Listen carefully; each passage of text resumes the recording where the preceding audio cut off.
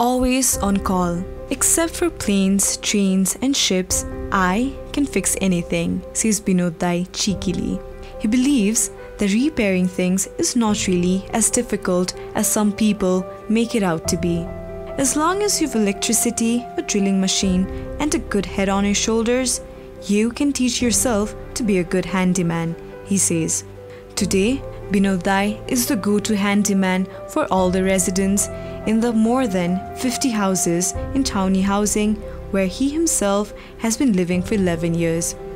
They come to him for any electricity related work that needs to be done.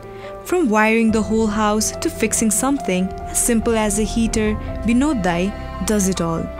No one in the colony dares to get an outside repairman because here the onus on maintaining handyman client relation falls on the client. They have never known when they might need them.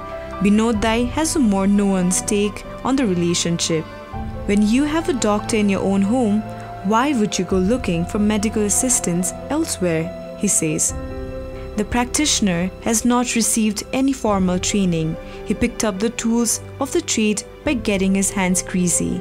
He did go to school to learn the usual things, but by the time he was an inquisitive seven year old, he had already formed a strong opinion about education that it was useless, at least for him. So he started spending less time attending classes and more and more time wandering around his village in Saptari looking for something, anything to fix. He started by repairing lead acid batteries for the villagers. Initially, he used to just sit and watch other mechanics at work while he observed everything they did like a sponge. But he could only watch for so long.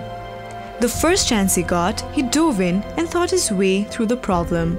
I realized if I believed enough, I could repair anything, except a watch. I don't have the patience to repair something that integrate with so many small parts. As a kid, he tried repairing a Seiko 5, but the screws kept slipping through his fingers and he got so frustrated he reached for the hammer in his toolbox and smashed it to pieces. Today, 35, he knows to stay away from watches. But anything else the villagers brought to him broken radios, televisions, telephones, heaters, pumps the Puche Misteri, as he was called, had no problem fixing. Some people would even carry him on their dokos to the villages in Halisi so he could fix their rice milling machines. There was a simple engineering principle that he depended on. I would pull the thing apart, tweak a few things here and there, put it back together. That would either work or not. If it didn't, then I would pull the machine apart again. He says, You can't fix anything without first breaking it yourself a few times. Over the two decades that he has been working, he has built a vast repository in his head for the methods that worked and those that didn't.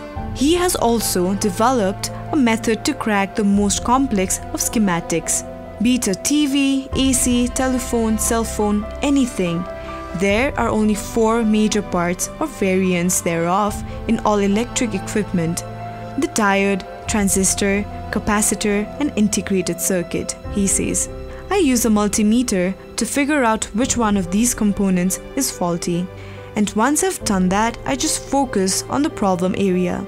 For Binod Dai, it has always been as easy as that. And today, with his wife and co worker by his side, things have gotten even easier. If she is not busy repairing a water pump or a TV, she can be found beside Binod Dai's ladder while he fiddles around with a light bulb or checks the ducts in an AC. She will be working on a peripheral part while he tackles the mother unit. She's so good that I don't have to hire an outsider. We are a family team, he says. It's a team that might soon get bigger. Every day, when his three kids return from school, they sit around him as he repairs stuff. Instead of doing their homework, they'll fiddle with things the way I used to as a kid.